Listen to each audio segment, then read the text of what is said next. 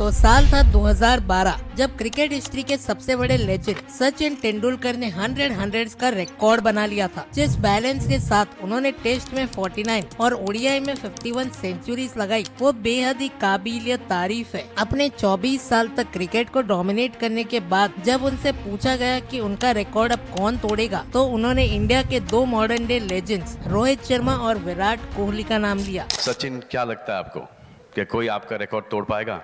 क्या लगता है आपको?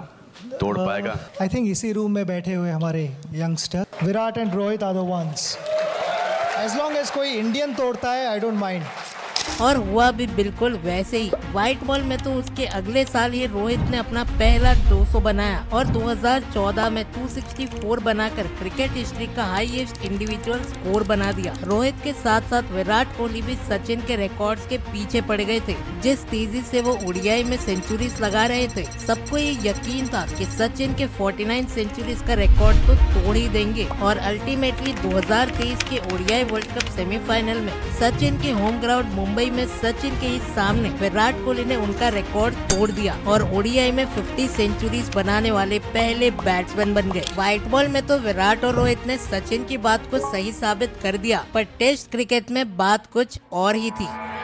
टेस्ट में विराट कोहली 2019 तक तो काफ़ी शानदार परफॉर्म कर रहे थे, जहाँ फैब फोर में भी टेस्ट सेंचुरीज में वो 27 सेंचुरीज बनाकर लीड कर रहे थे। स्टीव स्मिथ भी 26 सेंचुरीज के साथ उनके बिल्कुल साथ खड़े थे। केन विलियमसन भी 23 सेंचुरीज बना चुके थे। ऐसा लग रहा था कि अगले कुछ सालों में विराट टेस्ट क्रिकेट में भी सचिन के रिकॉर्ड तोड़ ही देंगे। लेकिन फिर एक ऐसे बंदे की पीक आई, जिसने पूरे क्रिकेट इंडस्ट्री को शॉक करके रख दिया। एक समय था जब लोग इन्हें फैब फोर के लायक भी नहीं मानते थे। जनवरी 2021 तक इनके सिर्फ़ 17 सेंचुरीज थी। लेकिन फिर श्रीलंका में 200, चेन्नई के उस टफ पिच पे 200, इंग्लैंड में 200 और ऐसे ही सेंचुरीज की लाइन लगा दी थी ज़ोर रूट ने और देखते ही देखते आज वो 34 सेंचुरीज तक आ गए हैं जहाँ पिछले तीन सालों में विराट ने सिर्फ़ दो स्मिथ ने सिर्फ़ छह और विलियमसन ने सिर्फ़ नौ सेंचुरीज लगाई है। वहीं जो रूट ने सत्रह सेंचुरीज लगा दी है अगर हम फिफ्टीज की बात करें तो फैब फोर में जो रूट बाकी सब से काफ़ी आगे जा चुके हैं।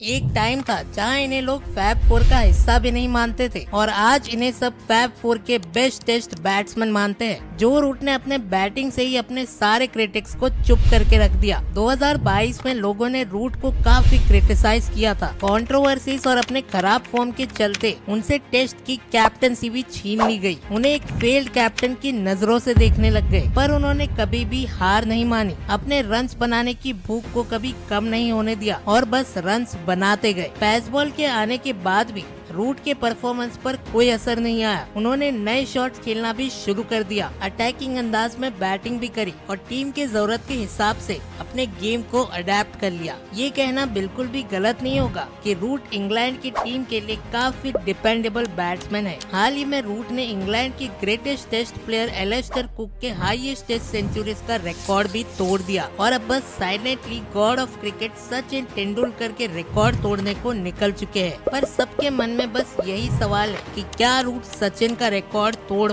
पाएँगे? जी हाँ बिल्कुल सही सुना आपने। यही बातें चल रही है पूरे क्रिकेट इंडस्ट्री में, जहाँ फैंस और सारे एक्सपर्ट्स को भी ये लगने लगा है कि जो रूट सचिन तेंदुलकर का रिकॉर्ड तोड़ सकते हैं। फ़िलहाल रूट जिस तरह के फॉर्म में खेल रहे हैं, ना ही वो स्विंग कंडीशंस में फेल हो रहे हैं और ना ही स्पिन के खिलाफ अपना विकेट गवा रहे हैं। हाल ही में श्रीलंका के खिलाफ सेकेंड टेस्ट में रूट ने दोनों ही इनिंग्स में अपनी सेंचुरी लगा दी। चलो अब एक बार के लिए हम सचिन और रूट के स्टैट्स को भी कंपेयर करते हैं। टेस्ट क्रिकेट में सचिन ने 200 मैचेस और 329 इनिंग्स में 53 के एवरेज से 15,921 रन बनाए जिसमें 5100 और 68 फिफ्टीज भी शामिल है। वहीं दूसरी तरफ़ जो रूट ने 145 मैचेस और 265 इनिंग्स में 50 के एवरेज से 12,377 रन बनाए जिसमें 3400 और 64 फिफ्टीज भी शामिल है। अब अगर हम देखें तो रूट अभी 33 साल के है। मतलब उनमें अभी भी चार साल की क्रिकेट तो बाकी ही है। इन चार सालों में चार फिफ्टीज तो बना ही लेंगे।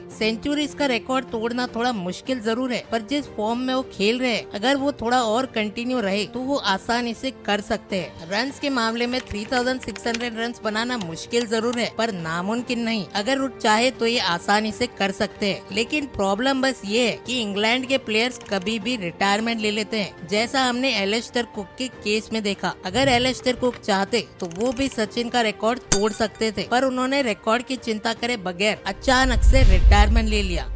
मगर रूट को देखते हुए मुझे लगता है कि वो सचिन का रिकॉर्ड तोड़ने ज़रूर जाएँगे। भले ही ये आसान नहीं होगा, पर जिस तरह की फॉर्म में रूट खेल रहे हैं, उसके लिए कुछ भी मुश्किल नहीं है। मेरे हिसाब से रूट 2027-28 तक सचिन का रिकॉर्ड ज़रूर तोड़ेंगे। आपको क्या लगता है, मुझे कमेंट्स में बता दो। वीडियो पसंद आए तो लाइक कर दो और ऐसे और वीडियो देखने के लिए चैनल को सब्सक्राइब कर दो। अगर इंडिया के अंडर रेटेड हीरोज पे वीडियो देखना हो तो इस वीडियो पे क्लिक कर दो। अगर स्टीव स्मिथ पे वीडियो देखना हो तो इस वीडियो पे क्लिक कर दो। Thanks for watching.